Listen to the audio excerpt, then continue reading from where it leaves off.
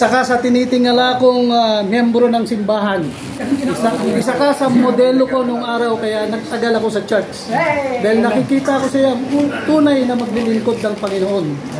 Ah, dahil sa iyo, ah, tumalakas ang spiritual ah, belief ko na dapat manalig tayo sa Panginoon dahil ikaw mismo ay nakikita ko sa katauhan mo ang tunay na tagasunod ng Panginoon. Happy birthday! I wish you all the best! Naway humaba pa ang buhay mo na gusto mong mangyari sa'yo. Mabuhay ka hanggang gusto mo.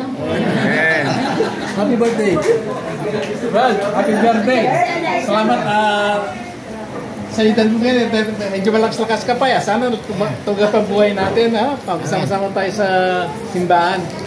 Ha? Bigyan ka sana ng malakas na pangangatawan ng igan para magsama-sama tayo at pagi, ha? Happy birthday. Thank you, thank you. Thank you, Kuya Ray. Ayan pa, Kuya Boy. Kuya Boy, Kuya Boy. Birthday, Kuya Lucio. At ah, ang wish ko sa iyo, ah, long life. Amen. Oo, at saka sound body and sound mind. Thank you, thank you. Next. Oh, next. Oh, Kuya Lenny's.